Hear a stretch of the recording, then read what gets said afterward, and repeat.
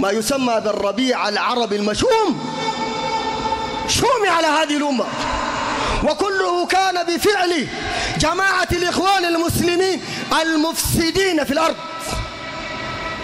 والشكر لقائد هذه البلاد إذ قال انتهت علاقتنا بالإخوان المسلمين. شكرا له. هم المفسدون في الأرض. مزقوا البلاد الإسلامية. مزقوها وبقت مهينة ودول الكفر مستقرة. ماذا استفادت هذه الأمم من الخروج على الحكام؟ استفادوا شنو؟ لذلك قال شيخ الإسلام ابن تيمية ولم يعرف في التاريخ أن أناسا خرجوا على ذي سلطان إلا وكان من الشر أكثر مما أرادوا أن يزيلوه. وأي مصلحة جناها من خرج على الحكام. جانوا شنو؟ استفادوا شنو؟ اتعظ بهذه الدول. مصر الآن وين مصر؟ من حال القديم. تونس سوريا. ومن الشر الوقع في سوريا. اليوم ناس سوريا يتسولوا في السودان. نسأل ربنا يعينهم. ويفرج كربتهم المنهج الصحيح. منهج الإسلام. أن تدعو للحاكم بالصلاح. قال الإمام الفضيل بن عياض رحمه الله تعالى إذا رأيت الرجل يدعو للسلطان فاعلم أنه صاحب سنة. وإذا رأيت الرجل يدعو على السلطان فاعلم أنه صاحب بدعة. أهل السنة وإن كان الحاكم ظالما يدعون له بالصلاح الإمام أحمد.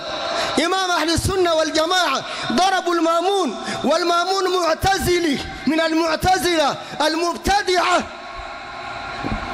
ضربوا الحد ما, ما قادر يحرك يدينه. الإمام أحمد رحمه الله تعالى. والطبيب بيعالج فيه. كما روى ذلك الخلال في كتاب السنة. والإمام أحمد بيقول اللهم اغفر للمأمون.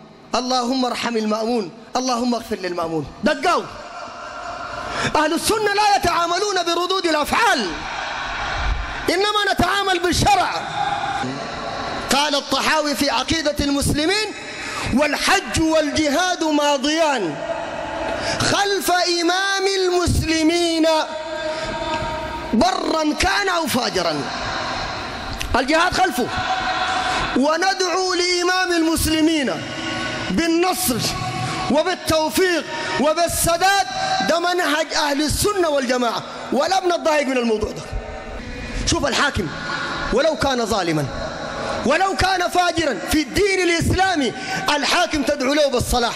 وتعينه وتأيده وتنصر وتنصح النصيحة المعروفة بضوابطها وبشروطها. تمشي له مش في المنابر تتكلم عنه. ليه؟ هل مزاج مننا مني أنا؟ مزاج مني؟ لا. النبي قال كده يا إخواننا. ده الرسول قال كده. عليه الصلاة والسلام. قال صلى الله عليه وسلم من كانت له نصيحة لذي سلطان فلا يكلمه علانية. وابن المبارك قال المنبر علانية. ما يكلمه علانية. تمشي له تنصحه وتتكلم معه.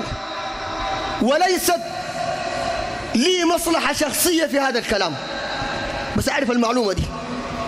ولو أردت أن أطعن وأسيء في الحكومة أو في الحاكم ليس هناك ما يمنعني.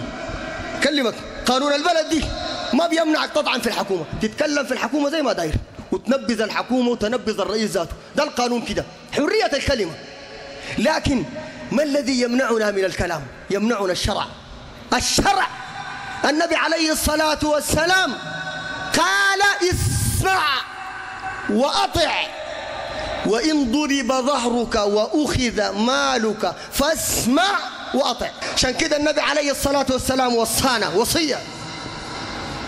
في حديث عوف بن مالك قال خيار أئمتكم الذين تحبونهم ويحبونكم وتصلون عليهم ويصلون عليكم وشرار أئمتكم الذين تبغضونهم. ويبغضونكم وتلعنونهم ويلعنونكم. قالوا فما تأمرنا يا رسول الله؟ ألا نقاتلهم بالسيف؟ لاحظ أمراء شرار. انت بتبغضهم هم يبغضوك. ده الوصف بتاع النبي صلى الله عليه وسلم. قال له أها. أن أفلا نقاتلهم بالسيف؟ قال لا. لا. ما أقاموا فيكم الصلاة. ليه يا أخواننا كلام النبي صلى الله عليه وسلم؟ ليه؟ هل ده تأييد للظلم؟ لا. هل ده نصر للمز... للظالمين؟ لا. ده شنو؟ ده قمة الفهم. فهم عالي جدا.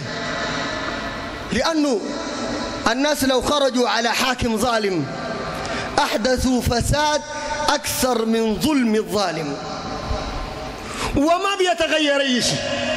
لأن الظلم ما هو فقط بسبب الحاكم إنما بسبب أعمالنا نحن.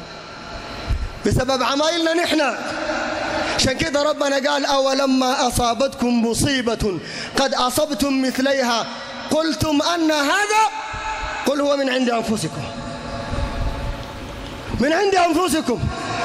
الآن الأمة فيها الشرك فيها البدع فيها السرقة بأبسط أي, أي أبسط شيء.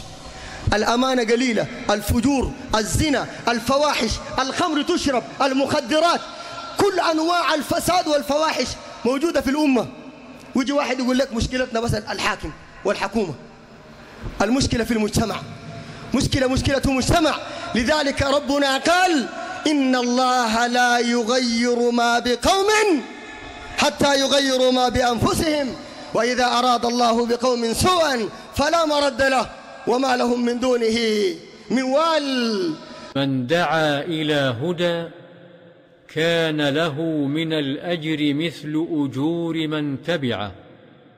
لا ينقص ذلك من أجورهم شيئا.